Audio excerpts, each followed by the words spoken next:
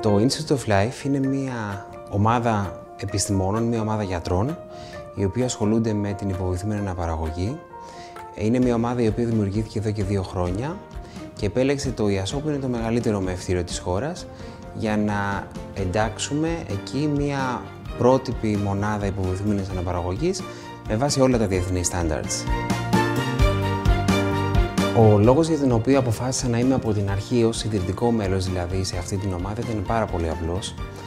Αυτή τη στιγμή το Institute of Life είναι ένα από τα πιο σύγχρονα κέντρα εξωσωματικής στην Ευρώπη.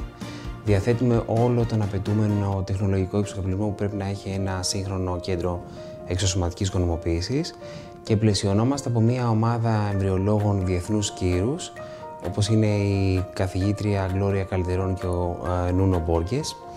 Διαθέτουμε κάθε καινούριο μηχάνημα το οποίο κυκλοφορεί στον χώρο της υποβηθούμενης αναπαραγωγής αυτή τη στιγμή και έτσι μπορούμε να εξυπηρετούμε τις ανάγκες όχι μόνο της ελληνικής ε, αγοράς των γυναικών από την Ελλάδα που μας εμπιστεύονται, αλλά επίσης αρκετά ζευγάρια από το εξωτερικό. Εγώ έχω αρκετά ζευγάρια από τη Γερμανία και την Αυστρία, οι οποίοι έρχονται εδώ.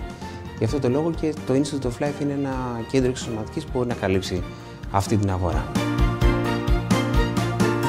Αυτό που διαφοροποιεί το Institute of Life σε σχέση με άλλα κέντρα εξωσωματικής είναι πρώτον το γεγονός ότι παρέχει την ασφάλεια ενός νοσοκομείου.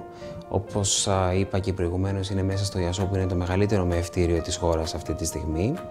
Επιπλέον διαθέτουμε συστήματα διαχείρισης ποιότητας και ασφάλειας όπως είναι το RI Witness που απαγορεύουν ουσιαστικά το λάθος, απαγορεύουν να γίνει κάποιο μπέρδεμα στο γενετικό υλικό ενός ζευγαριού που έρχεται να κάνει τη θεραπεία του σε εμάς.